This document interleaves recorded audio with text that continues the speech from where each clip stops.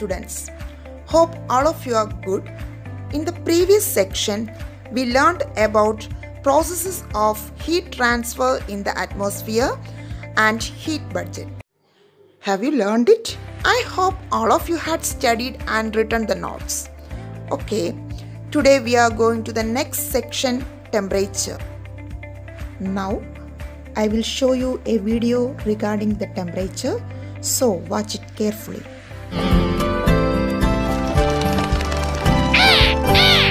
Today's topic temperature. Why are you taking so much time in drinking soup? Oh, this soup is very hot. Oh, I feel having fever today. My body is very warm. You know, in fever, your body temperature goes above normal. Yeah, but body never gets as hot as soup. My soup is more hot. How do you measure that? What is more hotter than the other? Ah, oh, I know this. Okay, see these three jugs. Yes, there is water in these. Tell me, which one is hotter? Yes, jug C is more hotter because smoke is coming out.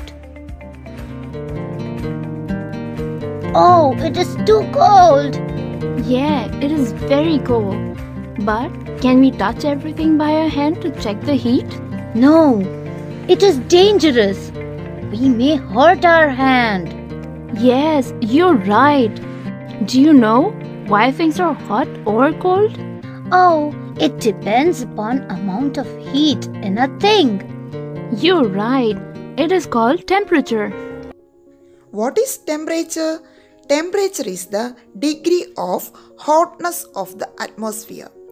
We know some days we feel very hot and some days we don't feel that much hot. Do you know the reason? It's because of variation in temperature.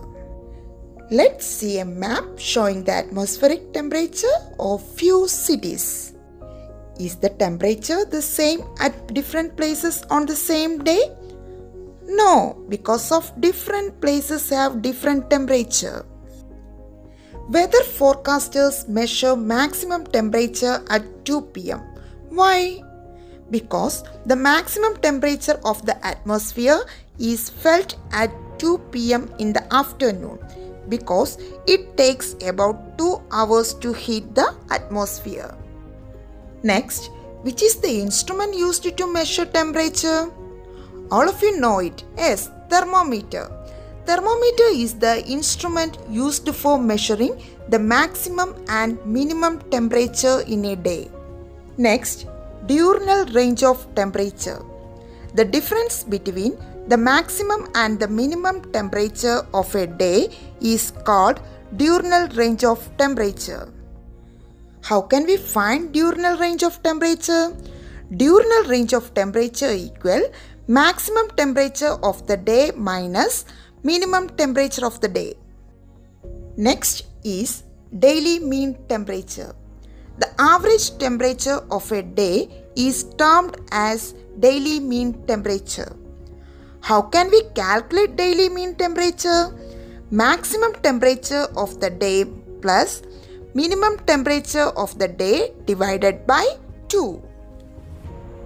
Look here, we can see the maximum and minimum temperature of Kochi and Trivandrum.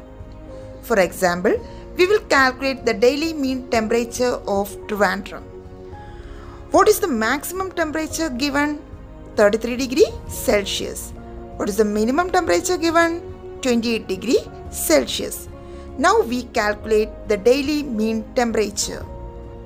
33 degrees Celsius plus 28 degrees Celsius divided by 2. Answer is 30.5 degrees Celsius. Thus, daily mean temperature of Trivandrum is 30.5 degrees Celsius. Look at the map. You can see the smooth curved lines connecting the places having equal temperature. The imaginary lines connecting places having equal atmospheric temperature are called isotherm.